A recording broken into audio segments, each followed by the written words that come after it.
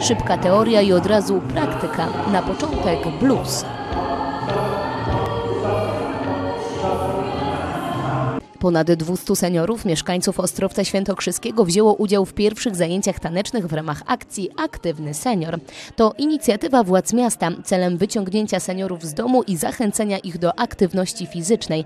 Bezpłatne zajęcia ruchowe odbywać będą się raz w tygodniu w środę w godzinach od 16 do 18. W styczniu seniorzy uczyć będą się tańca, którego instruktor ma co do uczestników zajęć poważne plany. I będziemy uczyć się tańca towarzyskiego. Skorzystamy ze światowego programu tańca, który w formie użytkowej przewiduje dla osób dorosłych naukę chociażby takich tańców jak walc angielski, jak foxtrot wolnej w szybszej wersji, czyli quickstep.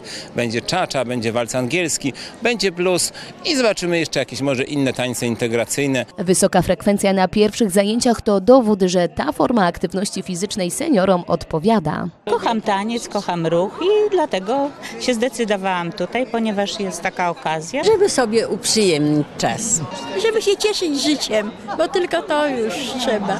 Za panami, których na zajęciach było zdecydowanie mniej niż pań, przemawiały przede wszystkim zdrowotne korzyści tańca. Bardzo lubię taniec i sport w ogóle, dlatego tu jestem. No, świąteczne kilogramy trzeba rzucić. Mam taki wiek, muszę się rozruszać, żeby koście nie stały w miejscu. Ruszam się z domu, ruszam na tańce. I tak seniorzy tanecznym krokiem wkroczyli w nowy rok. Tańczyć podobnie jak śpiewać. Każdy może. Nie liczy się wiek, nie liczą się predyspozycje. Na naukę tańca nie jest nigdy za późno. Na naukę tańca każdy moment e, rozpoczęcia nauki jest dobry. Jak widać, wystarczyła chwila i seniorzy, znając krok podstawowy bluesa, poczuli go całym swoim ciałem. Obecny na pierwszych zajęciach w ramach akcji Aktywny Senior prezydent Ostrowca Świętokrzyskiego Jarosław Górczyński już zapowiedział, że po zakończeniu kursu tańca na seniorów czekać będą inne, równie ciekawe propozycje aktywności fizycznej.